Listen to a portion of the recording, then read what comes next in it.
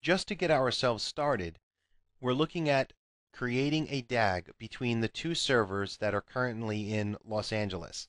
So in our scenario, you recall that we have the c2cbullet.com domain, and within that domain, on the Los Angeles side, we have a server that's called LAEX2K10 CasHub1.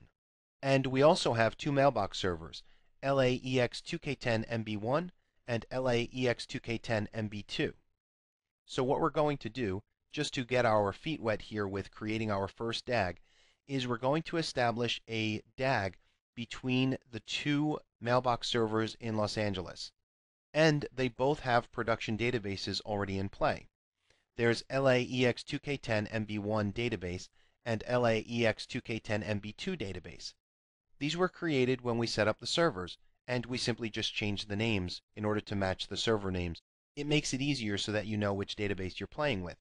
In this case, all of our mailboxes are actually on LAEX2K10 MB1. So the second database is not really a production database.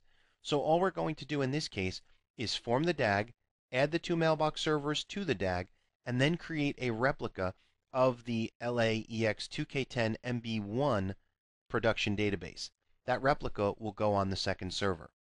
All right, so let's jump over to our Exchange environment and let's get this started.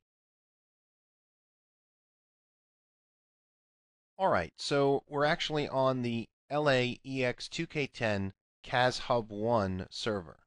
And sometimes when you get lost as far as what server you're working on, it's good to make sure. So we can check here LAEX2K10 CasHub1, which is part of the c2cbullet.com domain. And we're actually looking at some of the setup for this, just so it's clear how we have things worked out. You'll note that we have two different sites and two different subnets. So the LA subnet is the 10 network, the 10.x.x.x, and the New York subnet is the 192.168.1.x. And so they're both set up. We have domain controllers in each one, LADC1 and NYDC1. Obviously, in a real production environment, you're going to want multiple domain controllers for redundancy. We're actually talking about high availability, we're talking about redundancy and resiliency, and it would be sort of silly in a production environment if you didn't have that for your Active Directory.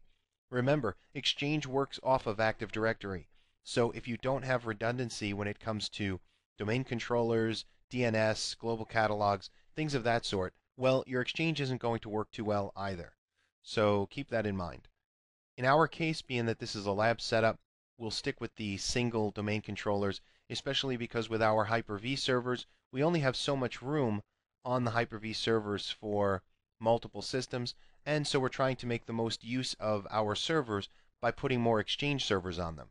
Now, as for the Exchange servers, if we look here, we can see that we have two CAS Hub servers. So we have one in LA and we have one in New York at this point. We'll be discussing high availability for non-mailbox server roles in a future lesson, but these are each in their separate sites and on separate servers. And then if we go to our mailbox for server configuration, you can see that we have four different mailbox servers. We have two in LA, MB1 and MB2, and we have two in New York, MB1 and MB2. And each of these has a single database on them. You can see the database copy down here. Currently, there are no replicas. All of the copy statuses say that they're mounted, but none of them are currently in a database availability group.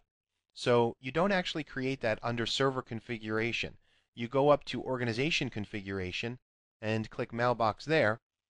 Here you can see the different databases again, and then we choose database availability groups. So at this point, we're going to use the wizard to create a new database availability group. We click New Database Availability Group. The wizard comes up. We have to provide a name. Remember, it can be 15 characters. We'll call it LA-DAG1. And at this point, we have to provide a witness server and a witness directory. If we don't do this, one will be chosen for us. So in our case, being that the DAG is going to be in LA, we're going to use the CAS Hub server as our witness server. So we select the checkbox. So we'll put in the LAEX2K10 CAS Hub 1 and the domain is C2C bullet for the fully qualified domain name. As for the witness directory, we can indicate the path to the directory that we want created on the witness server. However, it will create one by default. So we'll leave this blank and let it just create the default path. We click New, and it's as simple as that. And again, you can see here that the new dash database availability group cmdlet was used. It indicated the name and the witness server itself, but did not indicate the IP address. So one will be provided through DHCP. We click Finish. And you can see that the witness directory is here. It's under C backslash DAG file share witnesses backslash ladag1.c2cbullet.com. Okay, so we have our witness server here. Currently there are no member servers in this DAG. So if we right click and we click Manage Database Availability Group Membership, we click Add, and we're going to choose the two LA servers. And we say OK. And then we click Manage. All right, and both servers were added in. Doesn't look like we have any problems. You can see the cmdlets there as well for adding in additional members to the database availability group. We click Finish. And now you can see we have our member servers listed out here. We also now have the DAG network set up. We can expand this out. And this is all part of the clustering aspects that have been added in. Again, keep in mind, we did not set up clustering we simply set up the database availability group and added members. And so behind the scenes, the clustering aspects were added in. We can see the subnets. In this case, we have the single 10 subnet. It's up. We see the network interfaces. We can see that they're up. So we're pretty pleased to see that everything is up and running.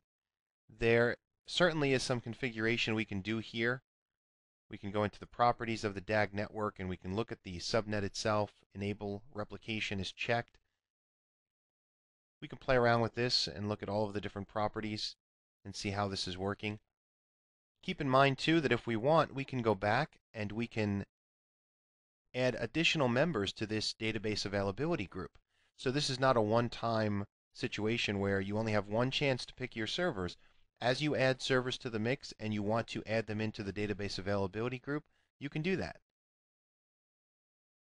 But again, we don't have replicas of our databases just yet.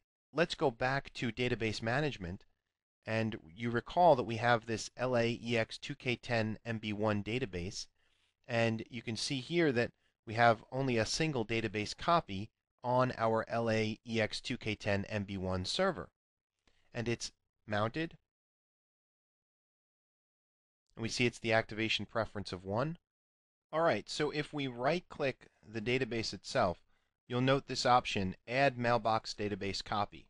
This won't be here if we did not set up the database availability group and put the servers in there. In fact, if we click, let's say, the New York one, you'll notice we don't have that option.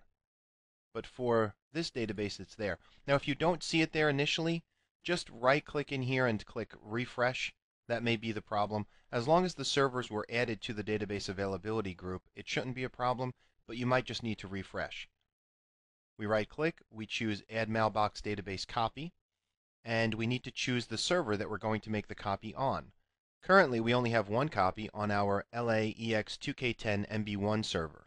We click Browse, and you can see that we only have one other server that we can create a copy on. Now this dispels the thought that perhaps we could also choose our own server and create a copy of the database to perhaps another disk on the same server.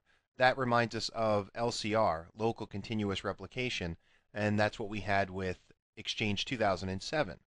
That's not the case here. If you do want a copy of that data, if you want a replica, you're going to need to put it on a separate server. So we don't do disk to disk within the same server in Exchange 2010, even with a database availability group. So we only have one other server to choose from. There it is, our LAEX2K10 MB2 server. We say OK and we click Add. And there we go. And again, you can see the PowerShell command for that.